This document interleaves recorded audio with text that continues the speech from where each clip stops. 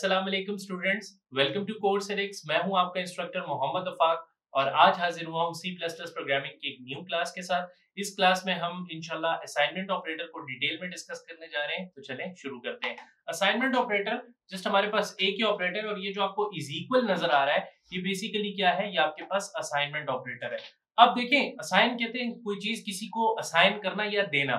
अगर मैं ऐसे लिखता हूँ ना A is equal to B यानी कि A is equal to twenty तो ये जो ट्वेंटी वैल्यू है, ये मैं असाइन कर रहा हूँ किसको?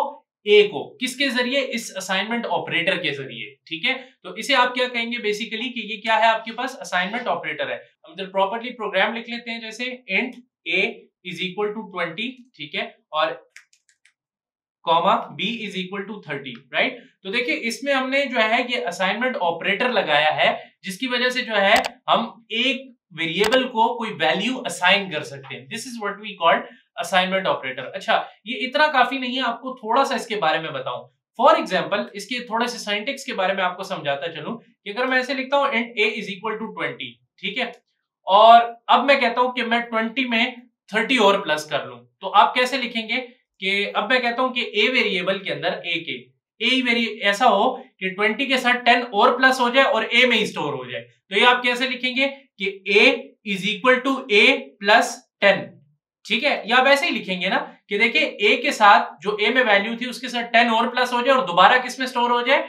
ए में स्टोर हो जाए। ठीक है? तो ये चीज़ भी आप असाइनमेंट ऑपरेटर के साथ कर सकते हैं। लेकिन इस फॉर्म को देखिए, अगर आप इसको डिस्प्ले करें हम ए की वैल्यू को तो आपको बिल्कुल सही तरीके से क्या रिज़ल्ट डिस्प्ले होगा? टेन और इसमें ए में क्या स्टोर है? ट्वेंटी स्टोर है। तो ट्वेंटी प्लस टेन आपको थर्टी डिस्प्ले होगा। आप जरा इसको रन करके देखें आपको क्या डिस्प्ले मिल रहा है?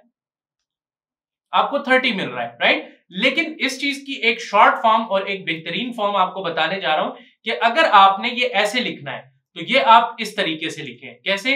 कि a plus is equal to ten मेरी बात समझ आ रही है? अब आप इसे रन करें। इस इस वाली स्टेटमेंट को मैं हटा देता हूँ। F9 कर लें। सॉरी यहाँ पे आपने सेमी कॉलन नहीं लगाया। जब हम सेमी कॉलन भी लगा लेते हैं, अब इसको रन करें। तो देखिए, अब आपको क्या रिज़ल्ट मिल रहा है? अब भी आपको 30 रिज़ल्ट मिल रहा है। तो इस बात का क्या मतलब है कि a is equal to A plus thirty इसका और इस स्टेटमेंट का मतलब बिल्कुल एक ही है। ठीक है? इन दोनों में कोई फ़र्क नहीं है। बेहतर कौन सा है? बेहतर ये है कि आप इसको इस्तेमाल करें। ये ज़्यादा प्रीसाइज है और ज़्यादा मीनिंगफुल है प्रोग्रामिंग के टर्म्स में कि आप ए के साथ ए के वैल्यू के अंदर टेन को क्या करो? प्लस कर दो और उसको दोबारा क्या कर दो? ए के अंदर स्टोर कर दो राइट या आप ऐसे भी लिख सकते हैं और आप ऐसे भी लिख सकते हैं A is equal to plus ten right तो ये भी ठीक है, इससे भी कोई मसला नहीं है। आप प्लस और इज़ इक्वल की जो रेशो है, उसको इधर उधर नहीं कर सकते। देखें, ये चीज़ आपने यहाँ पे देख ली कि आप अगर ऐसे लिखेंगे कि a plus is equal to ten तो ये काम करेगा, ठीक है?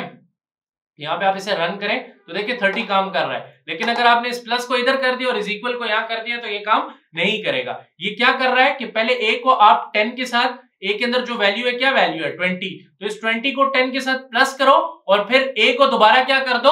असाइन कर दो राइट इसी तरह प्लस सिर्फ़ नहीं है, तमाम तर जितने भी ऑपरेशन है। अगर आप इधर ए के साथ ए के अंदर ऐसे करते हैं A is equal to A multiply by two तो इससे क्या आएगा?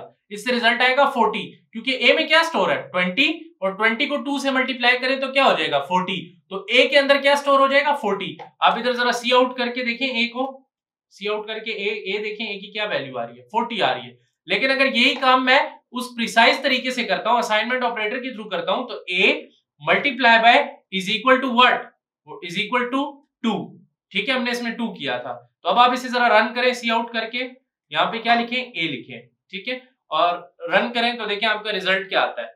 आपका रिज़ल्ट 40 आ रहा है right I hope so assignment operator आपको क्लियर हो गया होगा। एक शॉर्ट सा ऑपरेटर था और इसके अंदर आपने इस मेथड को हमेशा याद रखना है। चाहे इधर मल्टीप्लाई हो डिवाइड हो, ठीक है माइनस हो, कुछ भी हो, ठीक है? यहाँ पे आप ये इस तरीके से यूज़ करें।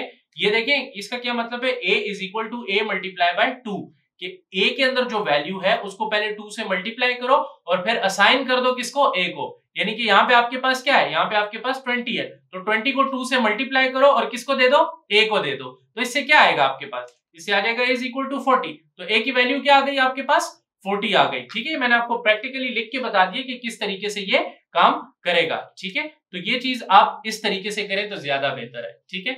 आई होप सो आपको ये क्लास पसंद आई होगी असाइनमेंट ऑपरेटर आपको बिल्कुल क्लियर हो गया होगा। इनशाला नेक्स्ट क्लास में हम लॉजिकल ऑपरेटर्स को डिस्कस करेंगे, तब तक के लिए स्टे ट्यून अल्लाह हाफिज।